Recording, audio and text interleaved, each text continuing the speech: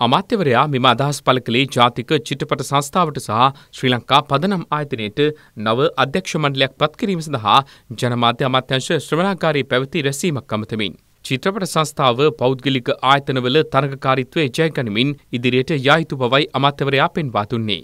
චිත්‍රපට සංස්ථාවේ සභාපතිවරයා ලෙස රාජ්‍ය භාෂා කොමසාරිස් ජෙනරාල් W ප්‍රින්ස් සේනාධිර මහතා පත් කර තිබෙනවා. ශ්‍රී ලංකා පදනම් ආයතනයේ සභාපතිවරයා ලෙස පත්කර තිබෙන්නේ එස්.එම්. සමන් සමරකෝන් මහතායි.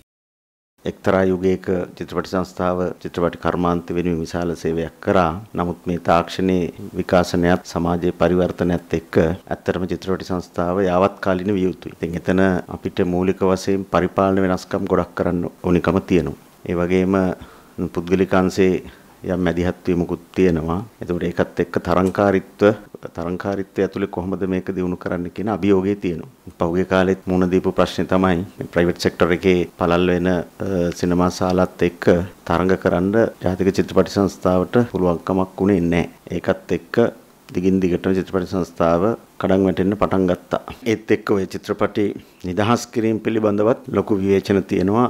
චිත්‍රපට නිෂ්පාදකයන්ගේ පැත්තේ සමහර හිතවත්කම් මත චිත්‍රපටි ලබා දුන්නා කියන වැරදි ක්‍රමවේදයන් අනුගමනය කරනවා කියන විවේචනය තියෙනවා. ඒ නිසා අධ්‍යක්ෂ මණ්ඩලයට මේ ගැන හිතලා මැදිහත් වීමක් කරන්න වෙනවා. අපිට කාටවත් ඒවරෂම් ඕනේ ඒ වගේම චිත්‍රපට නිෂ්පාදනයට ණය ලබා දීමේදී කාලයක් තිස්සේ වැරදි ක්‍රමවේදයන් අනුගමනය වුණා. ඒක ඇත්තටම නිවැරදි කරන්න ඕනේ.